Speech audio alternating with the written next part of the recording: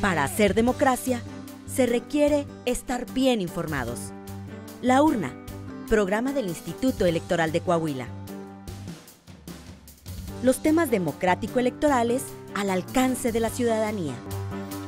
Hola, ¿qué tal? Bienvenidos a su programa La Urna, producción del Instituto Electoral de Coahuila. Como siempre, les saludamos y le invitamos a que se quede con nosotros.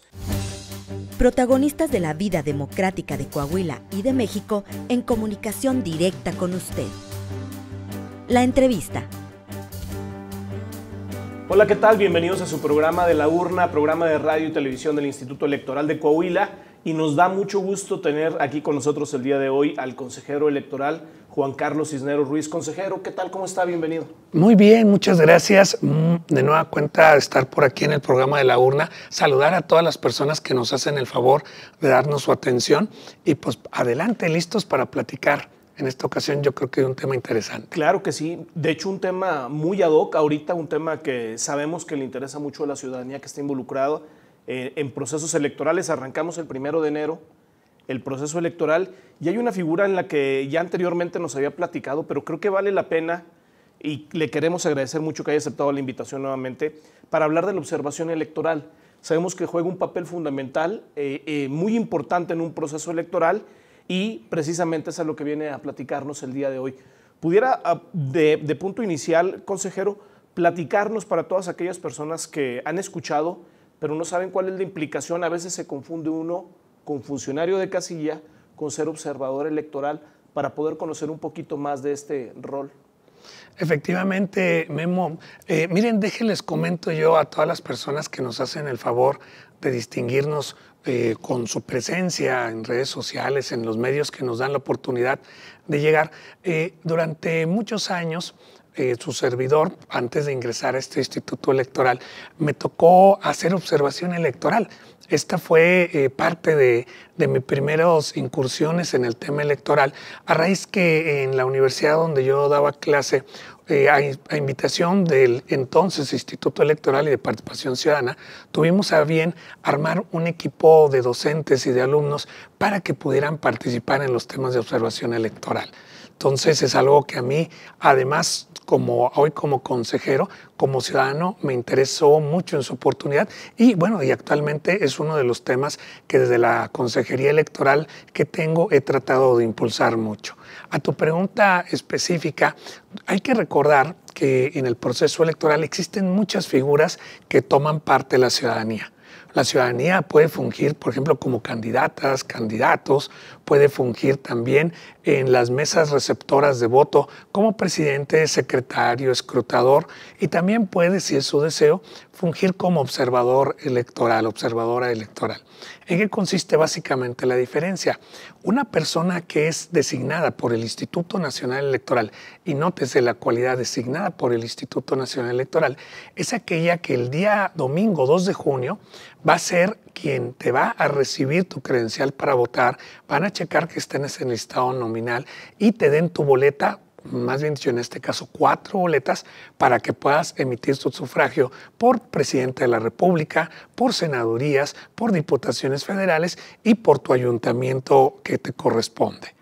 Esas personas que integran la mesa directiva son ciudadanas, ciudadanos que deciden entregarle un día a la democracia en base, y esto es muy importante señalarlo, a un proceso de insaculación y designación que hace el Instituto Nacional Electoral. En este caso, para poder ser funcionario de casilla, tú tienes que esperar que te llegue la invitación del Instituto Nacional Electoral. En otro lado, en otra actividad, se encuentran los y las observadoras electorales. En este caso también son ciudadanas, ciudadanos que también le van a dar un día de, de, su vida ordinaria, de su vida común, de su fin de semana a la democracia, con la diferencia de que ellos no van a estar recibiendo votos, sino van a estar por el contrario monitoreando, viendo cómo se recibe la votación el día de la jornada electoral. Es decir, un observador no necesariamente está en una sola casilla, puede recorrer varias, puede hacer una ruta, puede inclusive participar observando actos anteriores a la jornada electoral, puede y también participar en actos posteriores como es el cómputo. Es decir, la persona observadora electoral, a diferencia de la mesa directiva de casilla, no está en un solo lugar en forma obligatoria. Si a ti te designan Memo como presidente de casilla, tú vas a tener que estar todo el día en la casilla que se te asignó. Si tú decides ser observador electoral, tú podrás estar en las casillas que tú determines. Por último, la otra diferencia fundamental es que los observadores electorales, y lo platicaremos seguramente más adelante, hacen su proceso en completo respeto y sin emitir opinión alguna y sin ejercer ninguna función electoral más que la de observar lo que están haciendo todos los demás funcionarios de casilla, capacitadores electorales, supervisores electorales, representaciones partidistas, la propia ciudadanía que va a votar, otras autoridades. Es decir, el observador electoral puede emitir en su momento, como lo señala el Código Electoral y la Ley General, puede emitir en su momento inclusive un informe sobre lo que vio. Esas son básicamente las diferencias entre un observador electoral y un funcionario de casilla. Juan Carlos Cisneros hoy en día es consejero electoral del Instituto Electoral de Coahuila. Tiene una amplia trayectoria de muchos años también en, el ámbito docente. Ahorita que está usted como consejero, ha estado haciendo observación electoral en procesos en otras entidades, en otros estados, y también como docente me imagino que impulsó mucho para que los jóvenes fueran y participaran como observadoras y como observadores electorales desde el punto de vista personal y también lo que vivió con estos jóvenes, eh, con estas jóvenes, ¿cómo cambia la visión de una persona cuando participa, cuando decide tomar esta, esta iniciativa y ser observadora, observador electoral? ¿Qué tanto cambia la visión de una persona? Claro que sí, con mucho gusto. En primer lugar, eh, comentarte, Memo, que en efecto nosotros formamos parte del Sistema Nacional Electoral, que es un sistema integrado por, por el INE, como cabeza principal y por 32 organismos públicos locales electorales. En atención a ello y en mérito a que una de las y es bien importante, y que bueno, aprovecho tu pregunta para mencionarles a la ciudadanía. La observación electoral tiene muchos propósitos. El principal y fundamental es que el ciudadano o la ciudadana conozca de primera mano cómo se desarrolla un proceso electoral y forme una opinión informada, una, opinión de conocimiento directo de primera mano de cómo se desarrolló una jornada electoral.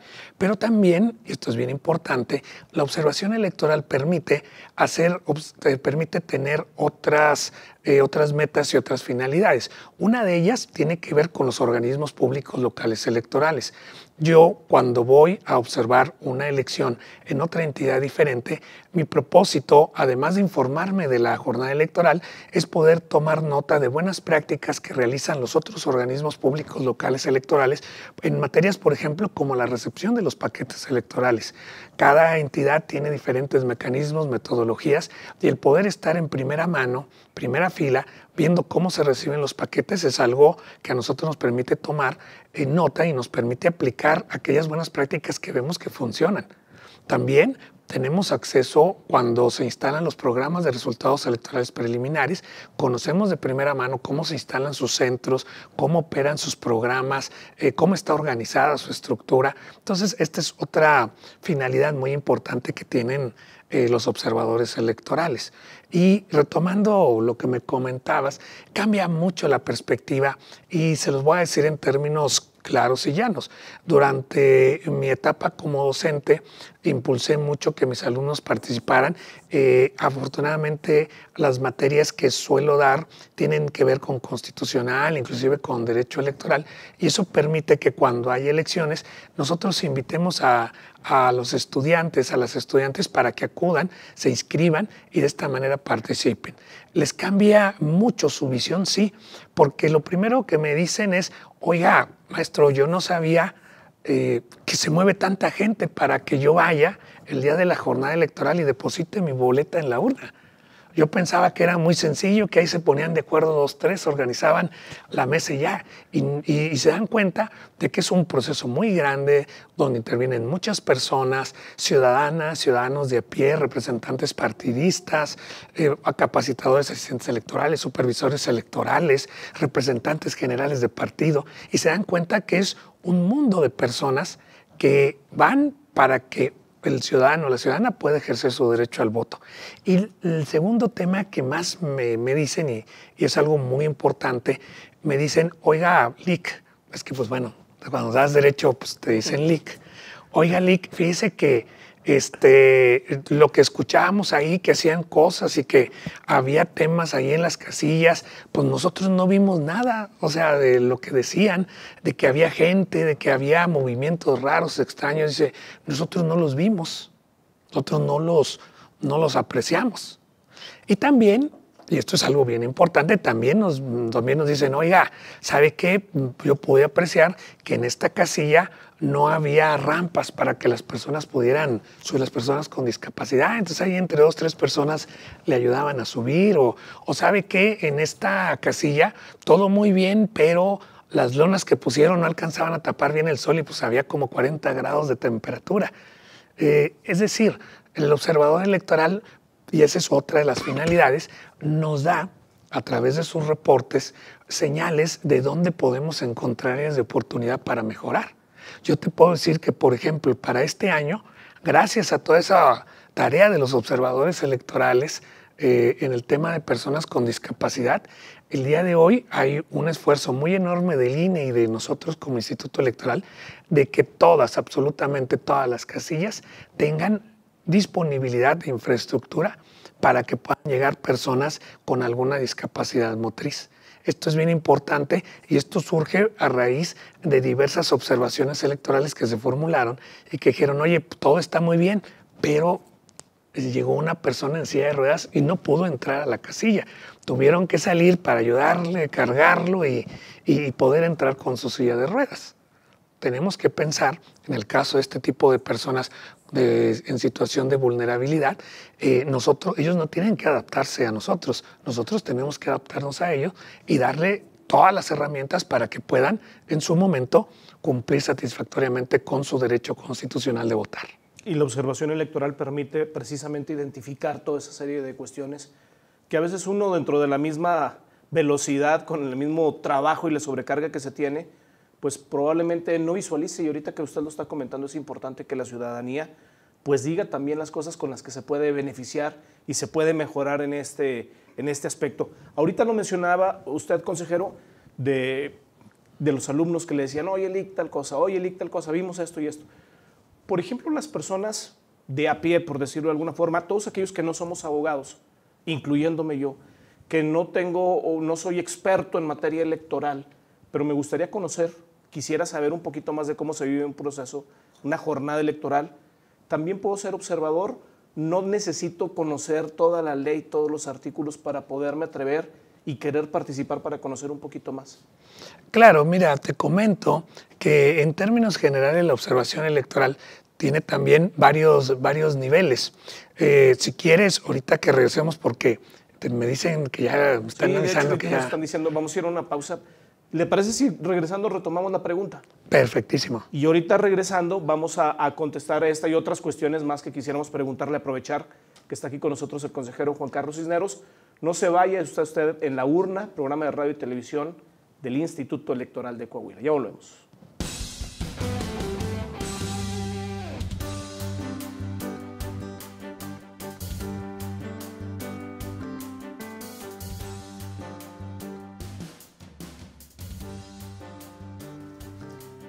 Muchas gracias por continuar con nosotros aquí en su programa La Urna, programa de radio y televisión del Instituto Electoral de Coahuila.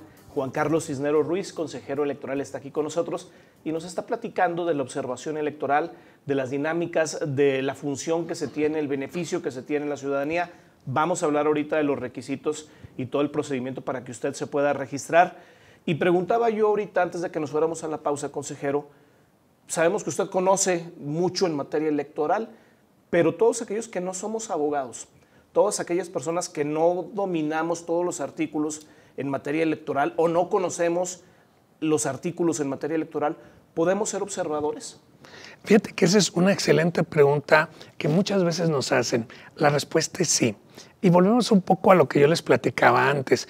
Las personas eh, que se dedican a la observación electoral pueden ser ciudadanas, ciudadanos eh, que no tengan prácticamente ningún conocimiento en materia electoral, tal vez solamente la que ellos ven como ciudadanos de cuando van a votar o de lo que han escuchado, de lo que han visto, tal vez en algún programa como este de la urna Pero eh, en primer lugar yo le digo que no se preocupen.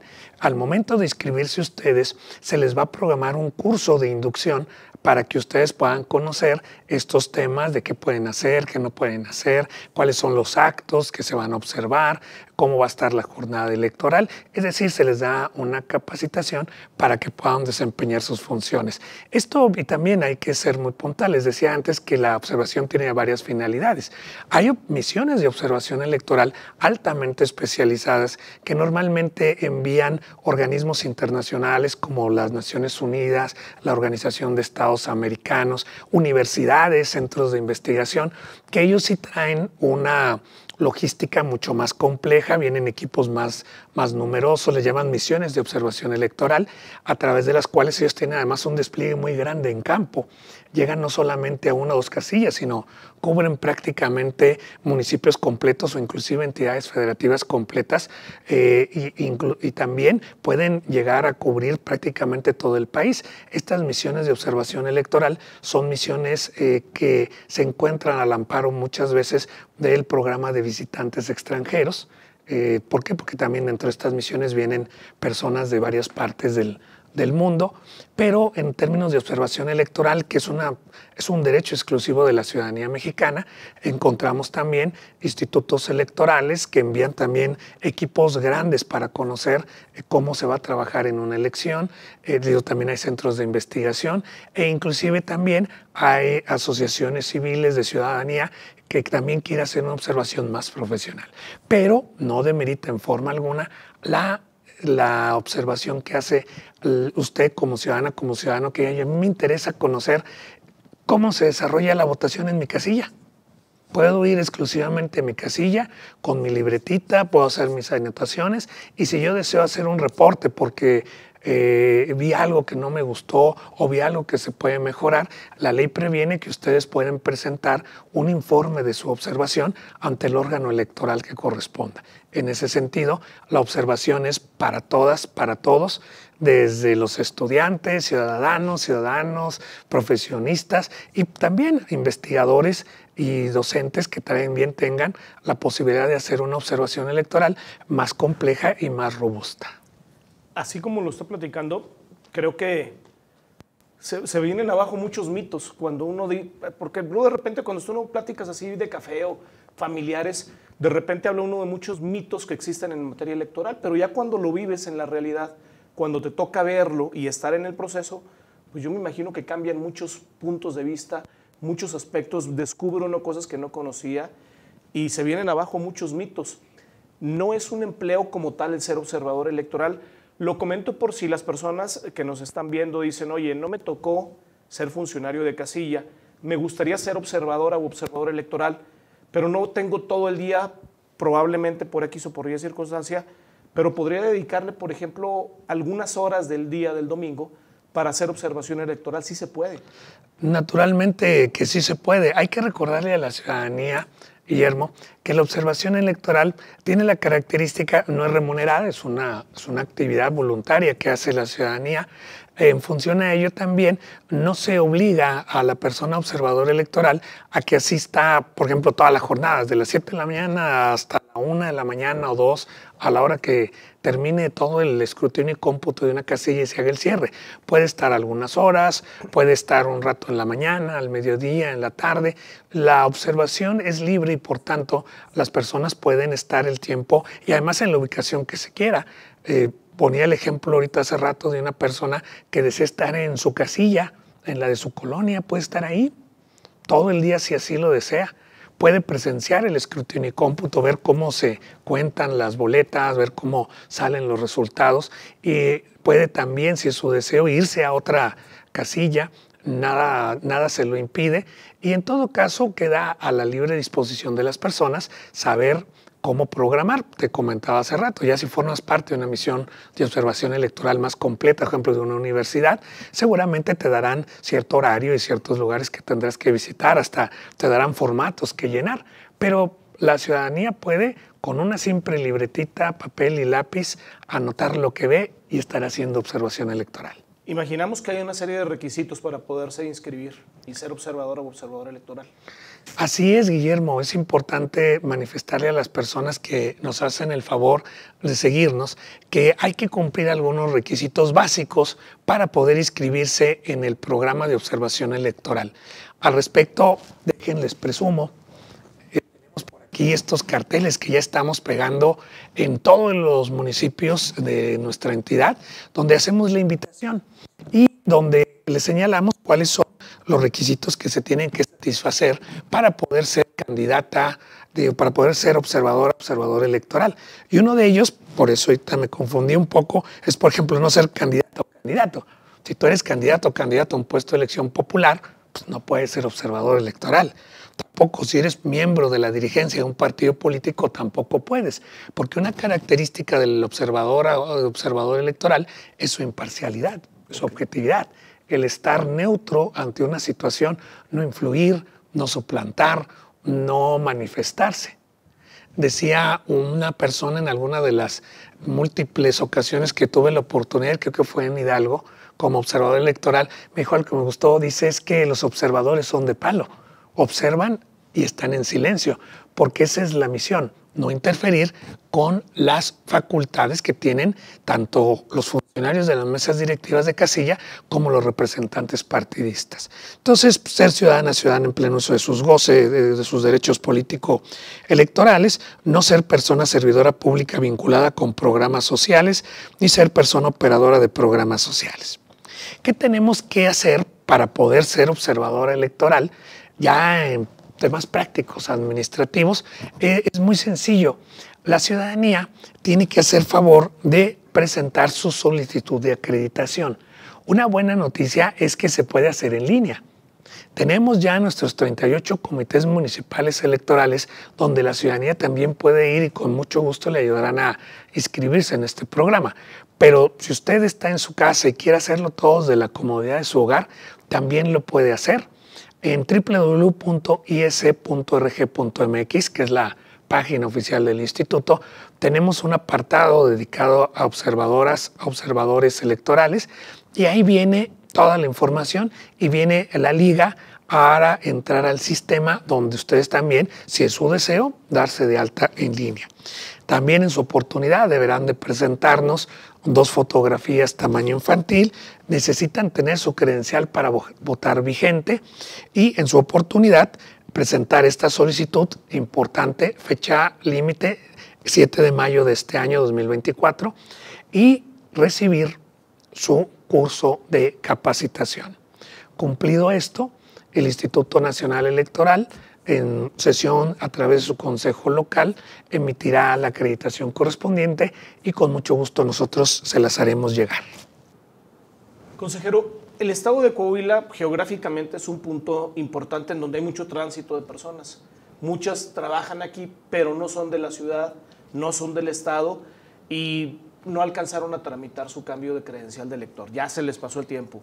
Pero quieren participar, tienen interés en conocer cómo se llevan a cabo los procesos aquí en el estado de Coahuila, la observación electoral es un buen mecanismo, es una buena opción para que puedan ejercer ese derecho. Sí, claro que sí. Hay que recordar que la observación electoral es un derecho que tenemos todas y todos los ciudadanos mexicanos. En ese sentido, no importa la entidad donde quieras hacer observación electoral, la puedes hacer sin ningún problema. El único inconveniente, obviamente, yo le comentaba también con otros compañeros, va a haber elecciones en todo el país, entonces pues seguramente las personas querrán hacer observación en su lugar donde está ubicada su casilla, pero son bienvenidas y bienvenidos para hacerlas. Eh, hay que recordar, como quiera, que la fecha límite para ellos para nosotros, para cualquier persona que quiera observación, hacer observación electoral, va a ser el día 7 de mayo de este año. El 7 de mayo es la fecha límite. Dirán, oiga, apenas estamos en febrero, falta pues mucho todavía, pero no se hagan, eh, eh, no se echen a la maca como se dice, hagan de una vez el trámite para que de esta manera con tiempo presenten la documentación que se les pide y presenten también el curso de inducción y de esta manera puedan estar listos para el domingo 2 de junio poder, además de ejercer su derecho al voto, poder hacer observación electoral. Ese curso puede ser en línea. Sí, afortunadamente hay que recordar que gracias a las tecnologías de la información, muchos de los temas que antes eran 100% presenciales, ahora los tenemos en línea. Desde la propia inscripción, el curso los hemos dado también en línea. Entonces hay muchas formas. En los comités municipales también podremos ahí tener la opción de, de fungir como enlaces para los temas de observación electoral. Hay muchas vías y muchos mecanismos para que la ciudadanía acuda con nosotros. Consejero, voy a decir algo que pudiera parecer una obviedad para quienes trabajamos en la materia electoral, pero que probablemente pueda ser una duda o una inquietud que tiene la ciudadanía. Si yo decido inscribirme, ahorita escuché la entrevista, me interesa, quiero participar, el que yo me inscriba y participe como observador electoral no implica que me vaya yo a afiliar a algún partido, es una cosa totalmente distinta. Nada más hago la aclaración porque alguien pudiera llegar a pensar, oye, quiero ser observador electoral, me gustaría, pero a mí no me gusta tal o cual partido, yo no quiero pertenecer a ningún partido. Esto no tiene ningún fin partidista, es una cuestión totalmente ajena a esto. Así es, en resumen yo les puedo decir, no está, no se afilian a ningún partido, no tiene ningún fin partidista. De hecho, la, el propósito de la opción eh, eh, de la observación electoral es apartidista porque precisamente se trata de una observación neutra, objetiva y que traiga como consecuencia la mejora de nuestros procesos y el conocimiento para la ciudadanía de los mismos. Consejero, desafortunadamente se nos acabó el tiempo. No sé si quisiera comentar algo que por ahí no le haya preguntado y quisiera platicarnos. Nomás www.is.rg.mx, ahí está toda la información para la observación electoral y también toda la documentación que estamos generando con motivo de este proceso que nos llevará el domingo 2 de junio a las urnas. 2 de junio es la fecha. Consejero, mil gracias. Al contrario, gracias a ustedes. Muchas gracias a Juan Carlos Cisneros Ruiz, consejero electoral del Instituto Electoral de Coahuila, y gracias a mí, usted, que nos vio y nos escuchó en su programa La Urna. Hasta la próxima. Y bueno, fue todo. Muchísimas gracias por haber estado aquí con nosotros en su programa La Urna, esta producción del Instituto Electoral de Coahuila. Nos puede seguir también en redes sociales, en Facebook como la urna.programa radiofónico del IEC, en Instagram programa-radiofónico y en Twitter la urna-IEC. Queremos tener comunicación con usted. Pásenla muy bien. Hasta la próxima semana. Gracias por acompañarnos en una emisión más de La Urna, llevado hasta ustedes por el Instituto Electoral de Coahuila. Nos escuchamos en nuestra próxima emisión.